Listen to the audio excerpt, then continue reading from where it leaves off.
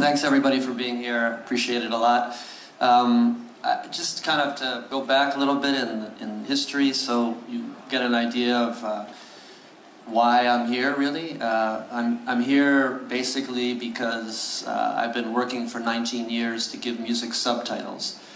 So I was a manager, an agent. I was joking in the car on the way here, a recovering manager, a recovering agent.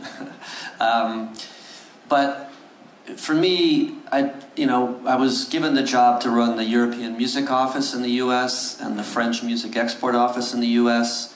Uh, and when I took those jobs back in 2004, I told the people who hired me, if you really want to do this right, uh, we need to give music subtitles. And they kind of looked at me like I had two heads. You know, it's like, what do you mean? Uh, the uh, French um, said uh, c'est trop compliqué, c'est trop difficile, c'est uh, prend ton le temps, it takes too long. I was like, okay, well, if um, sorry for my bad French. Uh, uh, so, if um, you know, for me, uh, growing up, I was very lucky. My parents had uh, music from albums from all over the world, and I was telling my friends from Hungary over here that I just met that I, I, learned to read by you know reading the back of album covers and all that. Um, so for me, I learned about the world really through music and through the context of music. And uh, some people are more lyric people, some people are more music people. But you know, for me, I, I you know the, the, the meaning of songs is really important.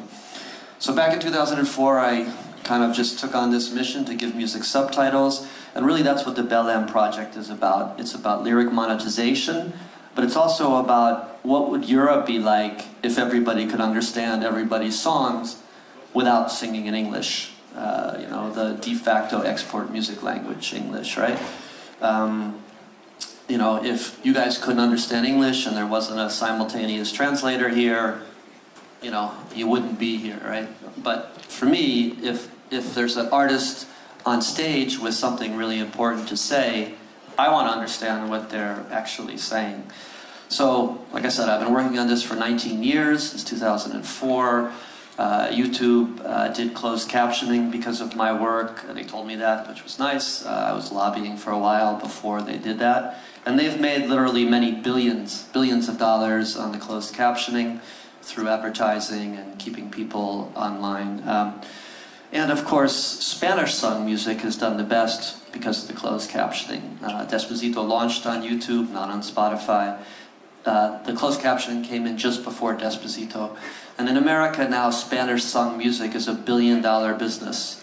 When YouTube started closed captioning, it was about 200 million. So it's up 500% uh, in the time uh, since then. Of course, labels spent more money, publishers spent more money if gringos like me who don't speak Spanish could understand Spanish song music, uh, of course, there's a lot of Spanish speaking people in the States as well. And the States are roughly 30, 40, 50% of the world's music um, business. So, you know, it was important. So it demonstrated it. But what we do that's different is human translations. Uh, Google's YouTube, uh, you know, Google Translate AI doesn't really get Macedonian to English well enough, or sorry, whatever language you speak here. I'm sorry. Uh, I guess it's Macedonian. Is that what it's called? Yeah. Okay. Thanks, guys. Um, you know, it's it's it's much worse than Spanish English, and the reason is because Spanish is spoken by half a billion people. English is spoken by half a billion people. Native English, you know, it's really spoken by about three billion, but now there's eight billion people in the world. So. Um, if we want music to actually uh, go beyond our own diaspora of language. And for me, international music has phenomenal writers from all over the world, even in languages that are disappearing, you know, even very small languages, indigenous languages.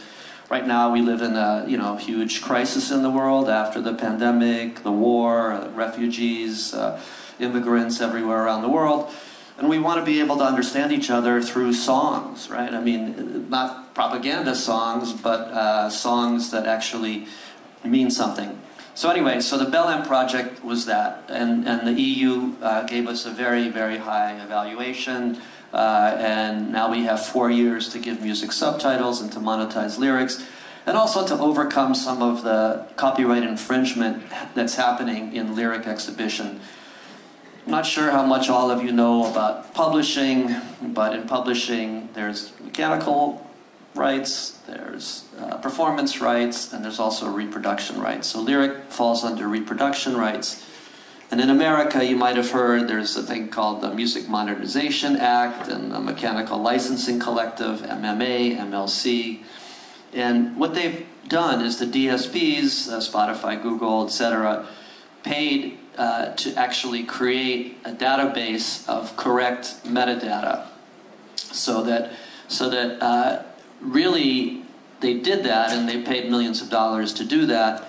And they also once they did that they also then put i think 400 million dollars back into the music system that they were holding uh, because they couldn't figure out who to pay it to it's really what they said. Um, you know there was a lawsuit um, by David Lowery, who I used to represent when he was a musician uh, before Spotify did their IPO, and it was $68 million uh, from Spotify back to the class action lawsuit.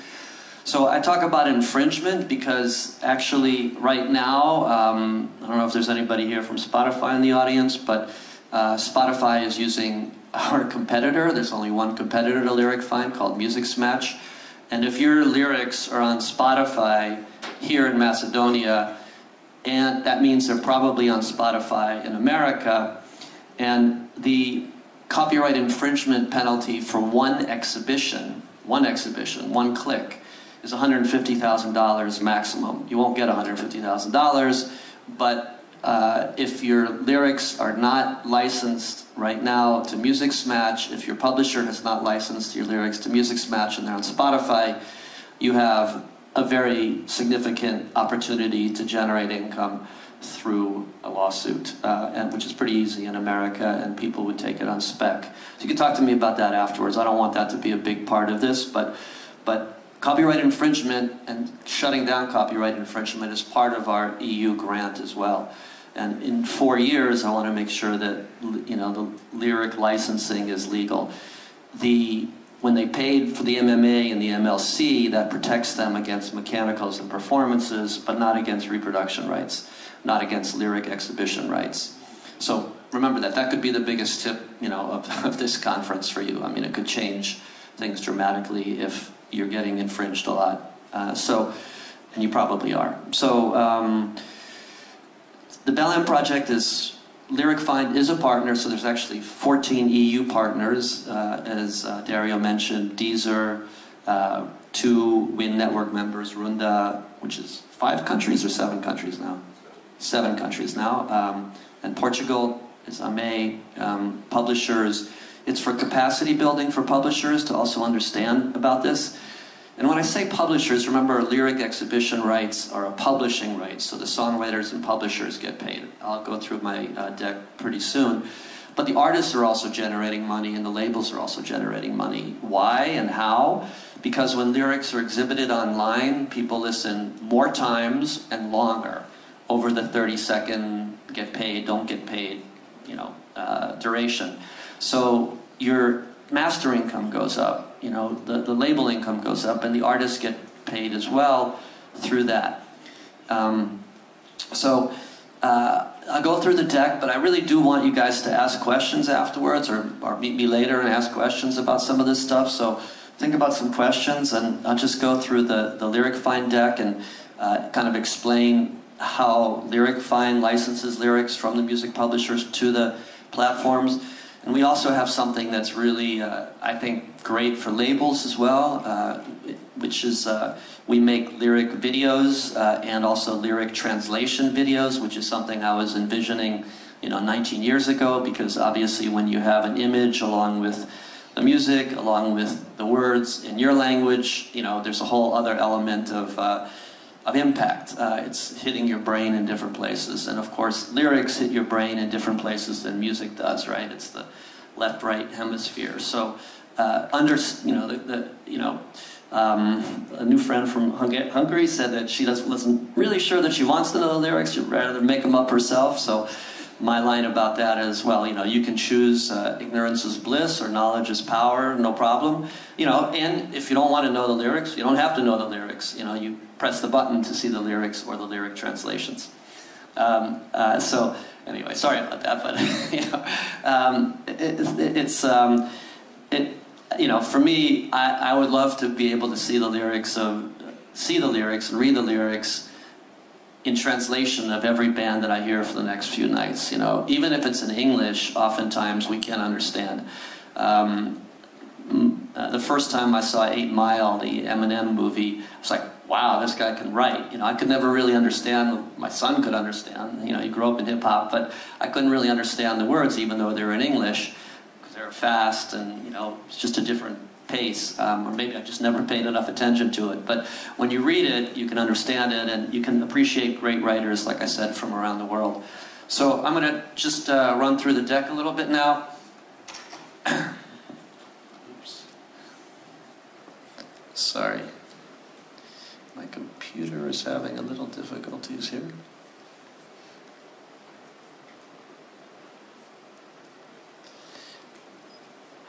Okay.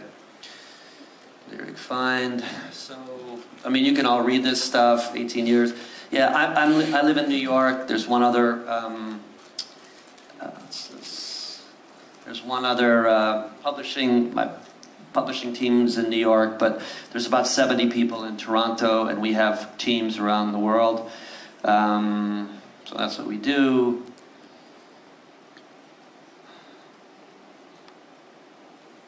Uh, now it's not.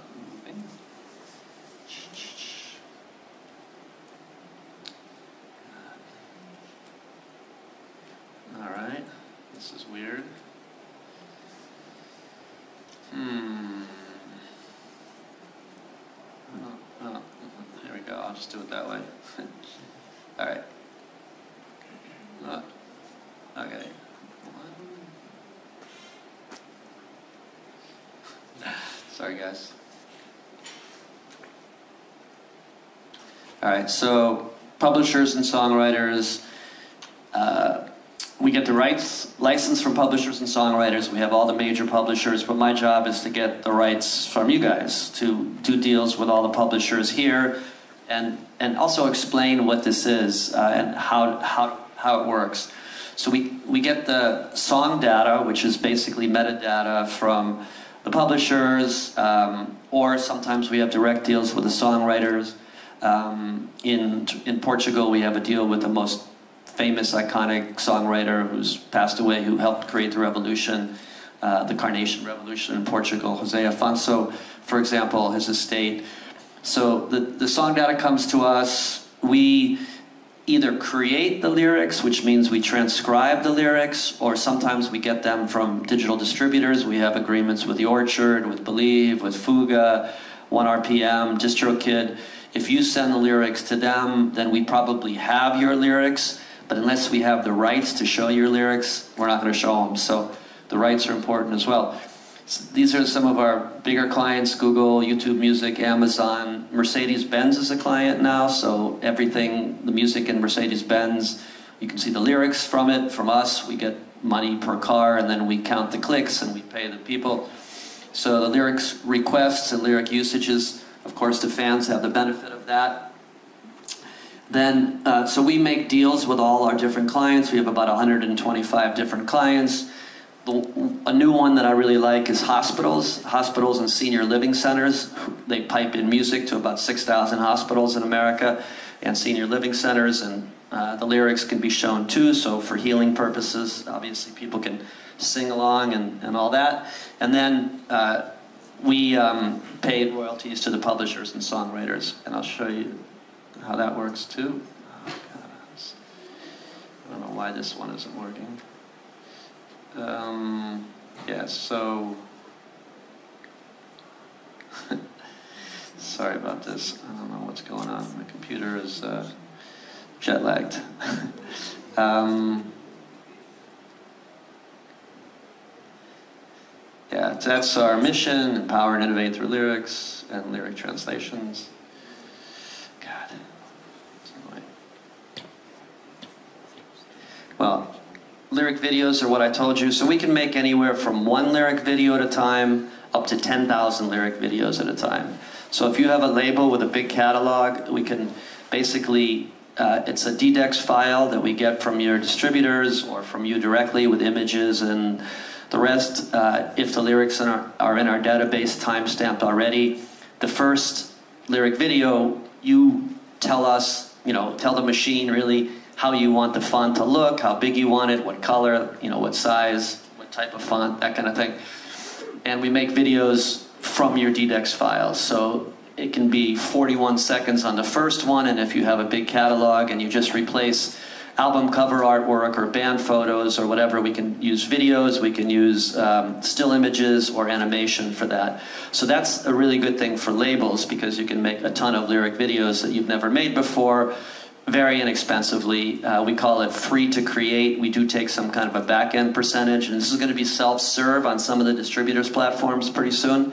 So, lyric videos or lyric translation videos as well. And a lyric translation video, um, one example that I was involved with, I represented the music of Brazil for North America, and a very famous, uh, iconic Brazilian artist known as the best hip hop writer in Brazil, uh, Emicida uh, household name in Brazil, but not known anywhere else around the world until he did lyric translations, and then he became, you know, very successful in other countries because people can understand the Portuguese hip hop, and he's he's an amazing writer. Um, it totally changed his career, and he he did it with every song. Um, so Lyric IQ is something that's more of a technology. Um, what we do is we analyze lyrics at scale for syncs or for playlisting. So we could figure out which songs are written about hunger or, uh, or you know, breakup songs or you know, all kinds of different themes and as well the different emotions that are in the songs through the lyrics. Generally speaking, the, um, the companies that focus on uh, synchronization focus more on the melodies and all that, but uh, the melodies could be a very upbeat, happy song, and the uh, the words could be about school shootings or something like pumped up kicks, for example. Um, so, you know, you need to actually understand what the lyrics are talking about as well, the theme of it. Oh, um, oh, here it's working now. All right. Uh, this is really important. So, revenue. Um, it's, I mentioned it a little bit before. But the per stream royalty rate, how much money you make per stream as a publisher, doubles on average when the lyrics are exhibited, times two. On a paid subscription service, per stream money, I know it's micro pennies, but it's double the micro pennies uh, for the publishers when the lyrics are exhibited. On a ad supported service, a free service, uh, it's times four. So the, the rate goes up times four when the lyrics are exhibited. And that's just the money for the lyric exhibition. The mechanicals increase, the performance royalties increase, and of course the mastering income increases as well. We've done studies, it's at least 10% increase on master income, you know, for the artists and the labels and the distributors, uh, as well, the 10% works for the mechanicals and the performances and all interactive neighboring rights, all the rest of it as well. Because people listen longer and more times when the lyrics are exhibited. We have 200 countries, we give you detailed royalty reports, credits, publisher and writer attribution. Credits is super important.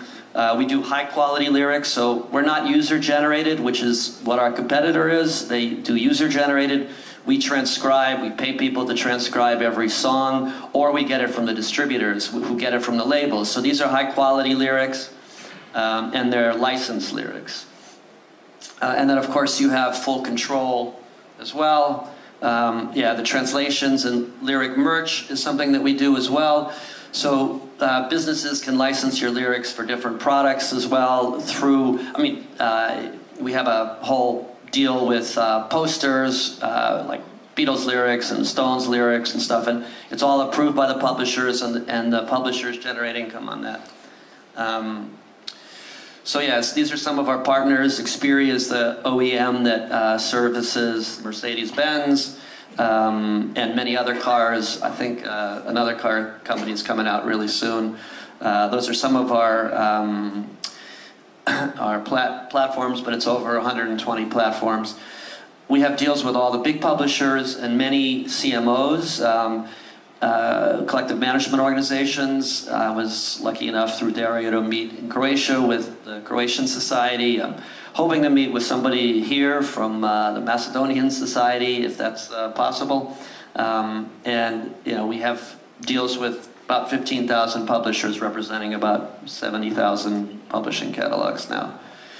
Um, these three majors are also our clients, so we actually service them with their lyrics, which is kind of odd, but they pay us to to uh, actually uh, make sure their lyrics are back to them so they could use them for whatever purposes they need them for synchronization, placement, whatever. Um, so yeah, we have many languages that we work with. Uh, we do have somebody in uh, Eastern Europe, in Ukraine right now. We had a team in Russia uh, as well. So we work with many different languages, but part of my role here, and if there's any um, kind of archive of Macedonian lyrics, uh, talk to me about that because we can also license directly. I was talking to our Hungarian friends about a company in Hungary that we're presumably going to be working with to get all of the Hungarian lyrics that are also um, cleared through the publishing organization, the CMO in Hungary, and the Publishers Association as well. We also work with publishers associations. Um, and we, you know, so we have teams around the world as well. If if we don't have somebody in Canada doing it, these are some of the uh, different countries that we have reps around the world. Uh, uh, and this doesn't have the Bell partners on here, but there's 14 Bell partners as well. Uh, so I talked about this before, ancillary income, uh, but this is super important because besides the lyric exhibition income you make directly from us per click, you also are generating master track income. Like I said, the labels are making more money, the distributors are making more money, the artists are making more money syncs go up. And why do syncs go up? Because if a director or music supervisor and editor can't find your lyrics, you know, or is looking for something also maybe in Macedonian language, but doesn't speak Macedonian, that's where a lyric translation helps.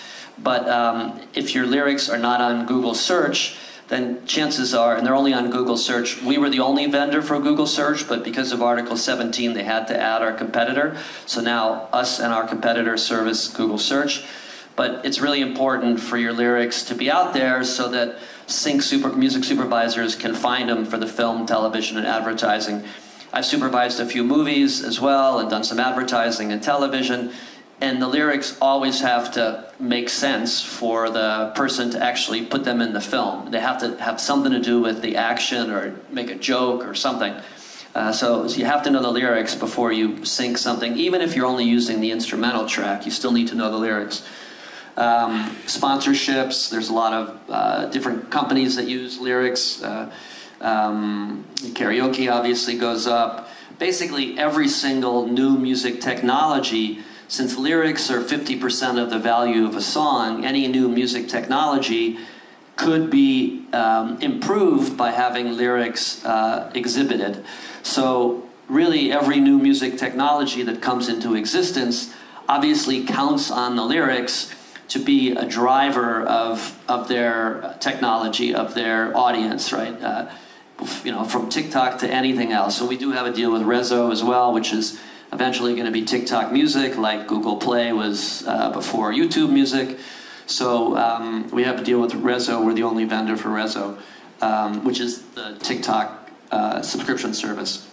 And of course, the, the more people know the lyrics to your songs, the more fans you have. You have a new customer, you have a new consumer. Your song has done what a song is supposed to do, which is cross the, uh, the line and get into the people's heads and hearts and you know, butts and feet for dancing or whatever, you know, the lyrics are actually uh, what people remember of the songs. They might remember seeing the band, oh, it's a great band, it was very cool, but they don't remember the songs unless they know the lyrics, you know. So the songs themselves, uh, the mnemonic device of songs are generally lyrics, you know.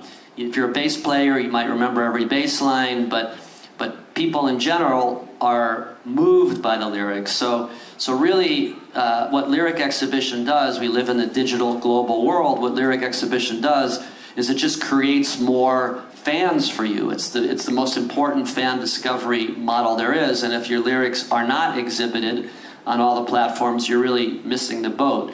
And if you're a publisher, you're really not doing what you're supposed to be doing, which is exploiting the song, exploiting in a positive sense, generating income for the songwriters. Same thing with labels. So it's really important to actually make sure the lyrics are licensed to us and to Musixmatch so they get on Spotify legally and uh, their other services as well.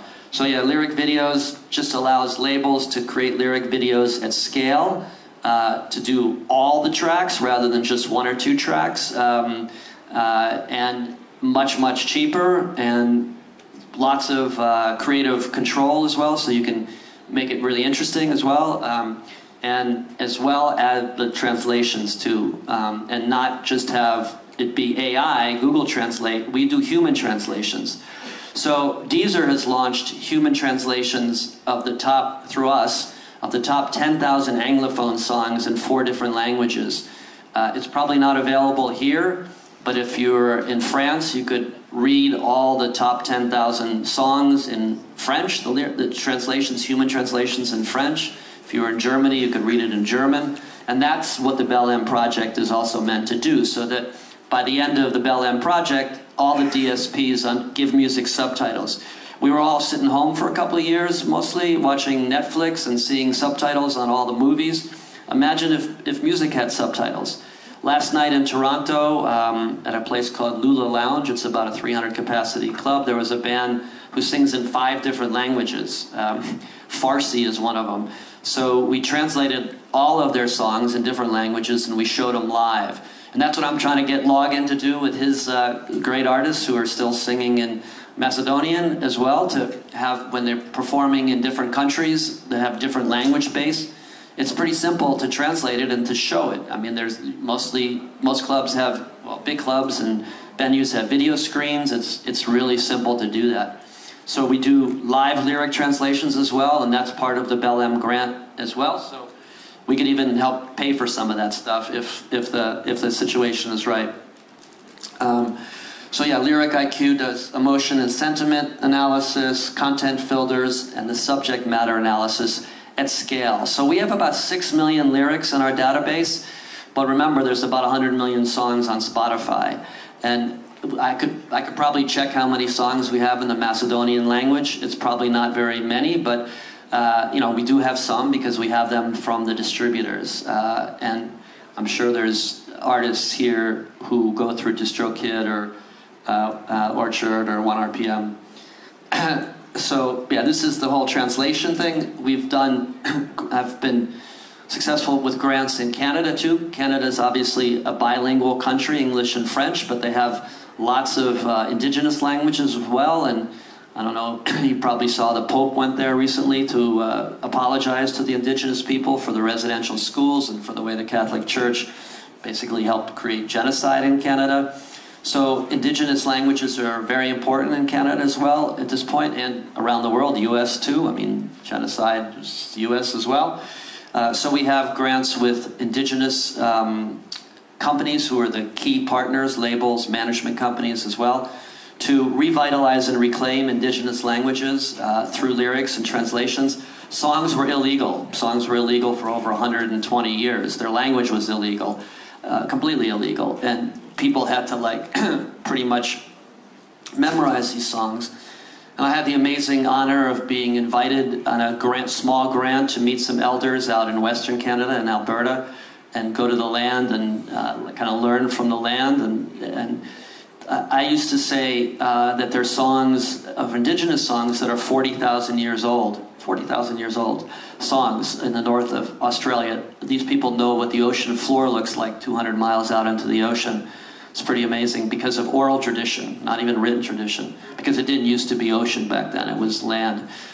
Anyway, the elder corrected me and said, No, no, you don't understand. These are not 40,000 years old. These are 40 millennia old because nobody wrote these songs. These are songs we heard from the sky and from the land, and These are songs we heard and we uh, transferred to our children to learn about the, the world, uh, the, the natural world, and the cos- cosmos as well. So, anyway, um, the Belém project also has uh, indigenous component and uh, immigrant component. It's the double and quadruple, like I said, streaming services. Um, so it's it's it's really a big bump, and it's even more than that again because Mechanical's performance as master income goes up. These are some integrations of, of lyrics. Um, of course, uh, when you speak to a speaker and you tell them to play the song that has these lyrics in it, that comes from us as well. The search function to Google Home and Alexa and all that. Um, so it's important. Now, little kids think that that's how music goes when you speak to a speaker and the speaker starts playing the music. Uh, you know, it's it's uh, it's important to have your lyrics in the lyric databases so that when the speaker, when the kid says in Macedonian, you know, play me the song that has these lyrics in it, you know, Alexa can find it uh, on the streaming services.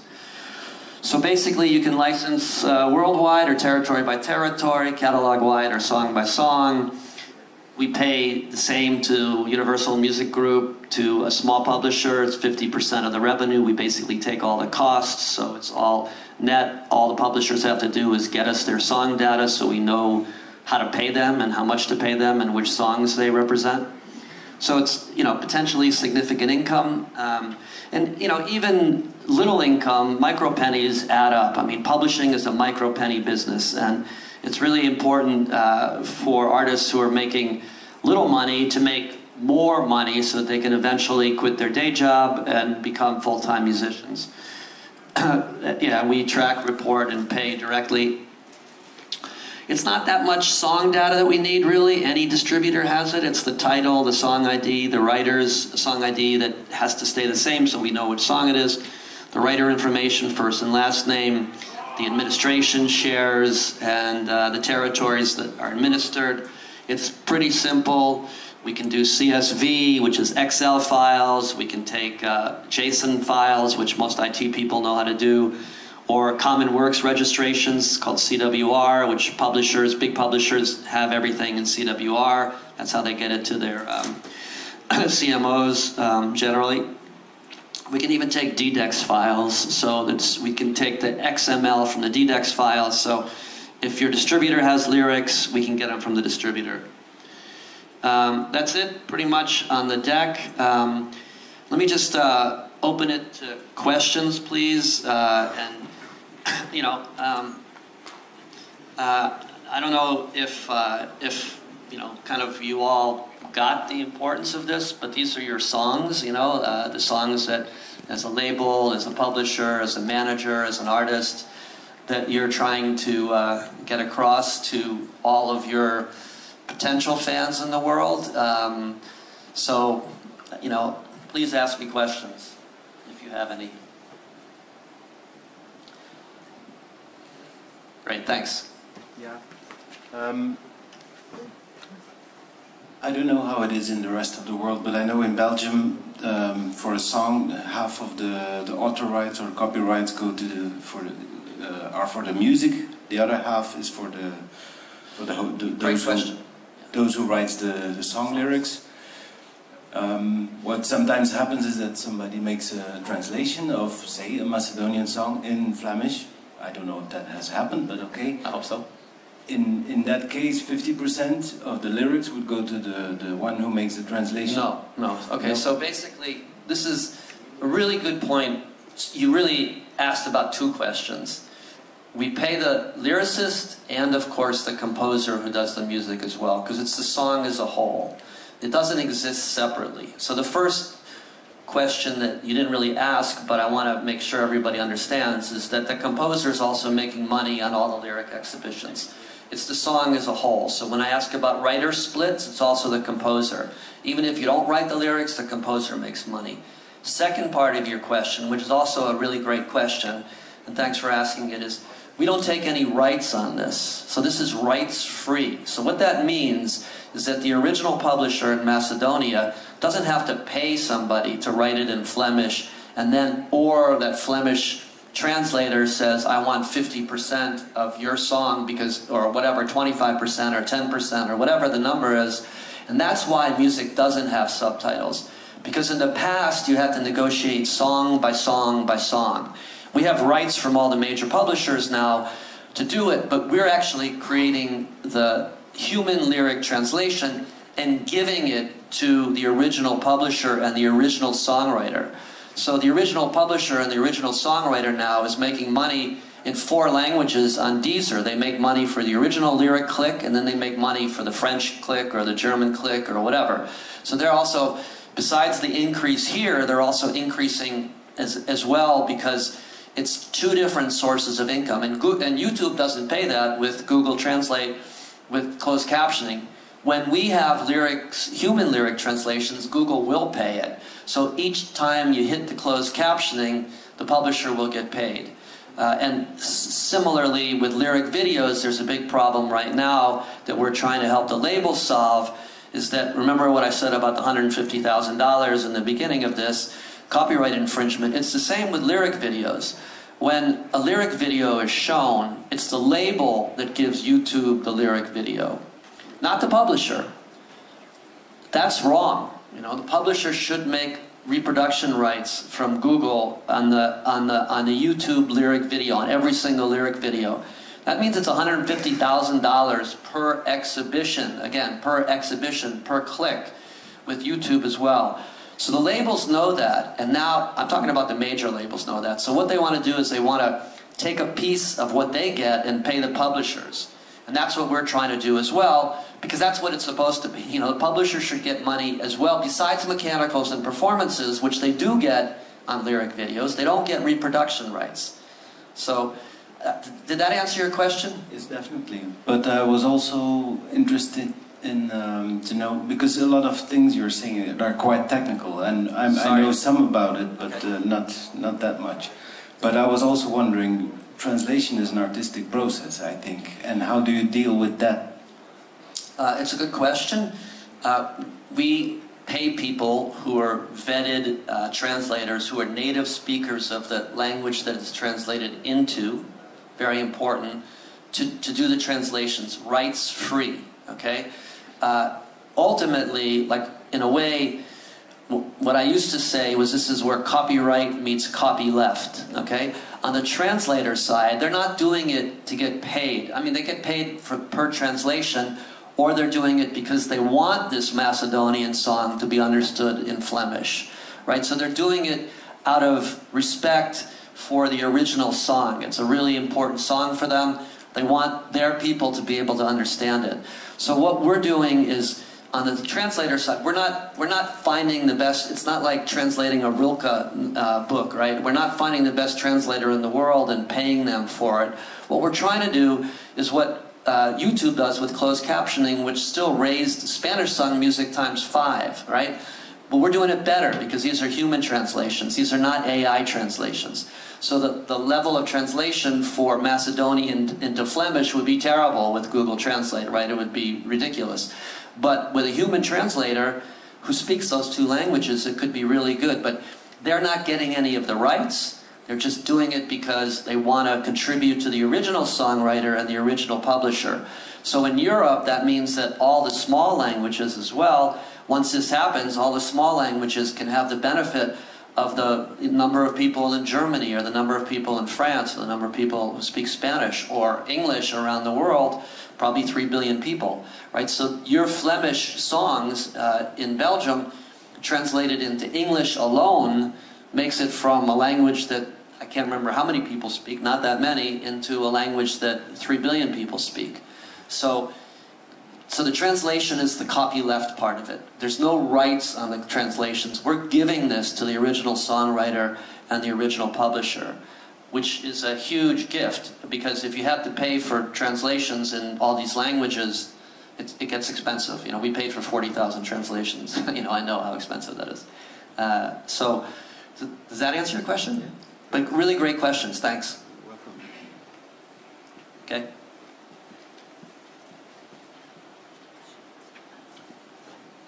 Hi. Uh, so my, my question is uh, really specific towards hip hop music. uh, you yourself said regarding Eminem. So that's a pretty good example because Eminem is one of the artists that has really complex lyrics. So th- they are complex in meaning and Slang. Also? slang, uh, complex in technicalities between like using homonyms, Right. double, triple and entendres. Right. So, how does that translate to uh, to artists and translating uh, into a different language? Because Yeah, it's difficult. do, do they lose meaning? Like, uh, what is of the artistry behind the translation? Because sometimes you cannot translate it the way you want it to, and that loses it, loses the But meaning. There, there's two points here. One is we're translating for meaning, not for rhyme, not for singing, right? If, it's not an adaptation, so we're not at, it's, it, it's very different from an adaptation. Okay, I remember I used to work with a French band. They were pretty famous in French, a French rock band called Les Rita Mitsouko. And I remember we talked about translations years before, I, you know, this was like, I don't know, a long time ago, before I started thinking about this. But he said, well, how do you translate um, see you later, alligator? And I said, well, maybe a plus tard, lézard. You know, I mean, I was just trying, right? It's like, kind of, means kind of the same thing. See you later, lizard, instead of alligator. But it rhymes also. So, it's a good question, and remember, AI, Google Translate, has raised five times reggaeton and Spanish sung music in America. Bad lyric translations. It's not going to be perfect, but what it does is it makes people think, and then people actually try to make it better and better and better, like Wikipedia. So it gets people thinking. And 80% of a meaning of a song, if I could understand 80% of the meaning of all the Macedonian songs I, or Serbian or the different bands I see here singing in different languages here, I would be a richer person for it. I don't mean money, I mean, you know. Uh, you know, so when Emicida did it in English, he worked with people who he trusted on the translation, and they gave really good translations. And some of the context, like the first time I got the whole album, is called O Glorioso. Check it out; it's a beautiful album. The first time I saw it on Vimeo, he, you know, he sent it to me. He did every every song, right? Some of it was making of, some of it was videos, whatever. I couldn't leave until I read the whole thing. And some of it I didn't get because they were talking about Brazilian politicians, specific guys' names and stuff, and I didn't really understand the context. But at least it gave me a window into some of it I understood a lot. You know, there's a song called uh, Dream Millionaire. You know, it's a beautiful song, great lyrics. So, you know, you're, you're not, it's never going to be perfect. Uh, you know, even if with Rilke or you know or the greatest Macedonian writers. It's probably not perfect translations, but it gets better and better and better, and it makes people think about what the song really means. So hip hop, you know, rock and roll. Uh, just joking on the way here. Even Schlager music in Germany, if that was translated, it would be much bigger around the world. You know, songs have meaning. So. It, it, it, but human translations do a lot better than machine translations, so that's what we use. But it's it's it's also a good question, and you know, it just the thing is that even movies sometimes subtitles aren't great, right? You know, the subtitles aren't perfect, but at least you understand what they're saying, and you know, you get the meaning of it. So we, we translate for the meaning, not for the meter, not for the rhyme. Uh, but people can then, it also creates more cover tunes. You know, if there's a great Macedonian song translated into Flemish, and some, you know, Belgian guy says, hey man, I want to cut this song, I want to actually do it, this is a great song, you know, in, in, in your language, and maybe they do an adaptation or whatever. But it, it basically, it's just uh, exchanging the culture and the meaning and what the songwriter intended when he sat down and wrote the song. Yeah, uh, I understand, but uh, my question was more towards uh, like being lost in translation. The way that, uh, let's say, some of the some of the rappers personally that I listen to uh, do songs so they can showcase their lyrical skill, the way they they write their lyrics. So basically, the way the, the lyrics are structured. The way the, the rhyme headers you know, are there's in, always there's always that's two, the focus. There's of the always two sides, right? There's lost in translation and found in translation. So do you want to um, get 80% of, of the meaning of what they're saying or not? You know, if if if they don't want it to be translated, it doesn't have to be translated. If they want you to learn Macedonian to, to understand the song, then that's their choice. But if they want the meaning of their song to be understood by an extra 3 billion people, even if it's not perfect, you know, then a friend of mine who used to run Womex, uh, Gerald Seligman, uh, said, I learned Portuguese because I loved fado music. And I was scared because I thought if, oh, I spent all this time learning Portuguese and maybe I'm not going to like it so much in Portuguese. And he said it was the opposite.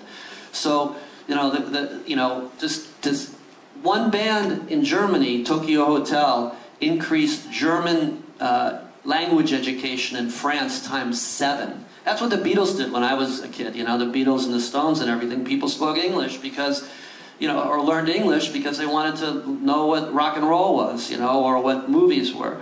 So if there's a great Macedonian or whatever, you know, hip hop artist and you get 80% of it, when I, you know, Emicida, like I said, I didn't understand the context. I didn't get 100% of it. You know, some of the slang might have been off, but still I got, this guy's a freaking great writer, you know? I mean, you can understand what a great writer he is. So, so for the hip hop bands, especially since it's all, you know, it's, a lot of it's about their words and, you know, there's mumble rap too. You know, what does that mean, right? I mean, but you know, and some some uh, artists sing in no language, like Sigur Rós, right? Or you know, there's some French bands too, where they make up their own language. But that's their prerogative. But if if you know, if uh, if the hip hop artists are understood by many, many more people around the world. They're going to be listened to by many, many more people around the world. They're going to be able to do collaborations too reggaeton, I mean, Bieber would have never worked on Despacito unless he understood the words. Same thing with Beyonce and all the rest of them. You have to actually, artistic collaborations too. There's so many multilingual songs that are blowing up in Africa right now, uh, in, um, you know, even J-pop and K-pop. They, already, they always understood the value of language. Why? Because they didn't want everybody to start speaking English. Japan vinyl always had lyric translations and translations of the liner notes. You have to understand the context where things are coming from to really understand the music, you know. So so the translation lyrics are one part of it, but also, you know, what else this artist is actually, you know, where their worldview is, you know, where they're coming from. But it's not it's not perfect, but it's better than nothing, you know, for me anyway. Go ahead. Uh, Hi. Uh, so actually was inter interested in the part when you categorize the content as violent, as sexist nudity. This kind of reminded me of a very old Frank Zappa trial in the 80s he had with a court, and he was actually asking the court based on which criteria you categorize it and based on which law. Of course, in the US, you're based on the law in the US that says that this is, this is bad. But for example, if you we never said it's bad. No, it's bad. it's good. You, you categorize it in a way based on a law in a country. But if it's, for example, an Albanian song, since I'm from Albania, right. And when it's in Albanian, it has a slang meaning which is not violent. In translated in English, it might sound violent, but it's not. Based on which criteria is then categorized as violent or non-proper? It's a good question, and so far we only have Lyric IQ for English. Uh, what, what we would need to do if we were going to do Albanian is basically have Albanian people or people who speak Albanian fluently, um, because it, what lyric the way lyric IQ started, it's human first, identifying many many different words, and then analyzing how often the words are in what context in the song. It's pretty complicated, but it's human first, and then it's AI, and then it's machine learning, so it kind of gets better and better. But right now, it only works for English. Um, and you know, you're right. You know, it's not about good, bad. It's about if Disney doesn't want "fuck you" on their Disney Channel, you know, uh, or whatever. Um, you know, so so the the important thing is um, the important thing is that we can do that based on what the client wants. If the client is a sync company, if the client is a kids, uh, you know, uh, whatever, um, parental guidance, whatever, we, we can do that. You know, so um, it's a you know, it, it's a fair question. Because basically, if you take most of the folk songs, for example, from my country, translate them in English, okay, you might have an understanding of the thing, but the entire slang will sound probably even violent or sexual in some languages. So basically, I get if it's categorized based on the language you translate it but I don't believe like there's just one kind of decision over it. Because in Albanian it sounds different, sometimes different. I totally understand. And, you know, and that's the whole point of what we're doing, really, right? Because I didn't know that until you just said that, right? So that is exactly the point of what we're trying to do here. Of why I've been working for 19 years to give music subtitles, so that we understand the different cultures, right? So that exactly we understand, you know that kind of information, right? And that kind of information maybe comes through subtitles in films, maybe a little bit, you know, but that's what, you know, I want the world to understand, you know, really. I mean, it, it's, uh, it's uh, important that people understand the cultural dif- di- differences and the language differences and where things come from and what folk music is about and, and all of that, you know. So the only way to do that is for translations, there's no there's no globalization without localization. You know, it's a cliche, but you, you need to know the culture. You, you need to have the language skills. I couldn't be here if I didn't, you know, if you guys didn't speak English, right? We, you know, globalization is based on localization. So if Logan's band is playing in uh, South America and he has Spanish translations on there, people are going to go crazy, right? You know, uh, because you're speaking, okay, Avril Lavigne, one chorus of one song, her song Girlfriend, in Mandarin. One chorus of one song sung in Mandarin. It's a little different, we're not talking about subtitles. She sang it in Mandarin. Became a Chinese superstar overnight. Overnight. 19 magazine covers, a friend of mine was there when it happened. She became a Chinese superstar overnight. One chorus of one song in Mandarin when Mandela, when you speak to someone in their language, you're speaking to their heart. You speak to them in your language, you're speaking to their head.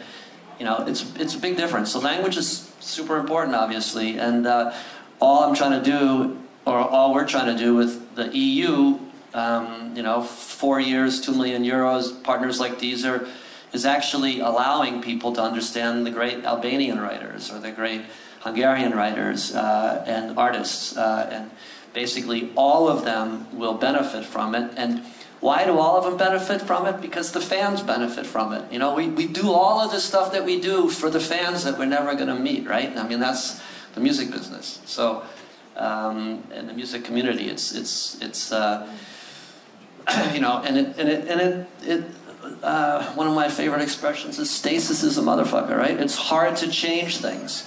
But, you know, all of you here are changing things in what you're doing every day, right? So, so thank goodness the EU also said, hey, you know, go for it. Yeah, if music has subtitles, there's going to be cross-border uh, uh, benefits for for human beings, you know, for cultures, uh, as well as for the artists, the music community, and publishers, and labels, and all that, managers.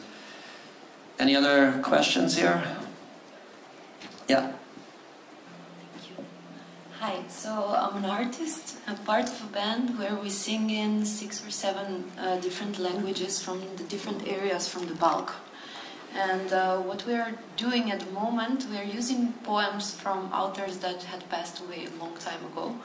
And usually, the, this type of language is a rural language. So, how would this work with translating it, with finding the right person to translate a language that maybe nobody speaks or understands anymore because it's it's not just Macedonian, but it's like old Macedonian or old Albanian or old Turkish. So I'm curious how how it would work because people love the music, but they cannot understand the language. So it would be really nice to be able to translate it. But how would it work with finding the right translation to this? That's a good question too, and really I don't know the answer. The, the thing is that you would have to figure it out, basically. Universities, uh, there's one university partner in the BELEM grant that's mapping European languages. It's called Nord University up in Norway.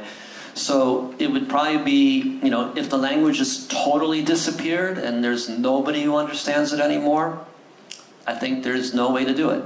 If you can find somebody who understands it, uh, then you can do it.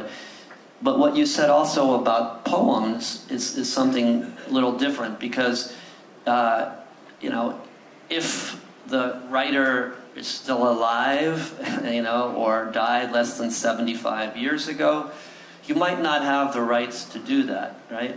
It's moral rights, it's another, another right.